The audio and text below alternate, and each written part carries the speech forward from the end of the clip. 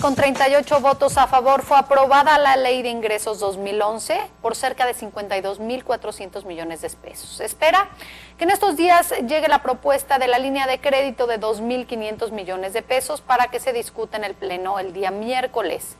De acuerdo con el presidente de la Gran Comisión del Congreso del Estado, Humberto Aguilar Viveros, se trata de una ley de ingresos histórica que permitirá al próximo Ejecutivo del Estado seguir trabajando en beneficio de los poblanos.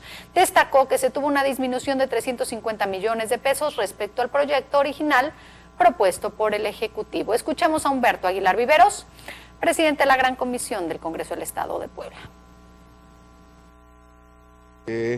como nunca llegamos a acuerdos este, a la propuesta que hizo Acción Nacional de disminuir 350 millones de pesos del presupuesto que originalmente propuso el Ejecutivo, quedando el monto en 52.480 y pico, pero yo considero que, este, que es una ley de ingresos en donde pues obviamente queda en histórico, porque indiscutiblemente esto va a permitir que el próximo Ejecutivo del Estado tenga las herramientas necesarias para poder seguir trabajando, ¿no?